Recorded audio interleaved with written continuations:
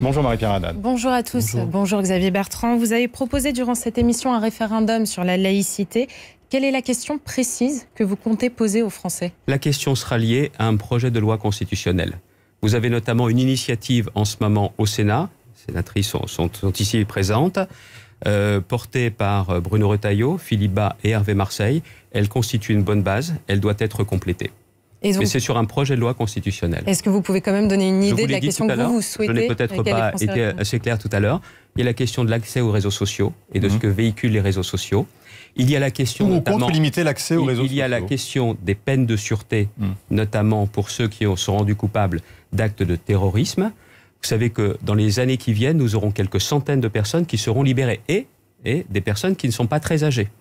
Et aujourd'hui, il faut être en mesure de vérifier s'ils restent dangereux ou pas. Ça, c'est l'un des points. Et d'autre part, les principes que j'ai évoqués tout à l'heure, atteinte à la laïcité pour les personnes étrangères, expulsion immédiate et de nouvelles formes de condamnation. Certaines peuvent trouver leur place dans une loi ordinaire, d'autres doivent forcément trouver leur place dans une loi constitutionnelle.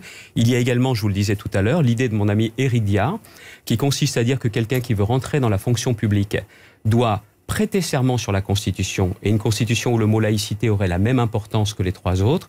Et dans ces conditions-là, s'il ne respecte pas, c'est un parjure et il quitte la fonction publique. Aujourd'hui, il ne peut pas quitter la fonction publique.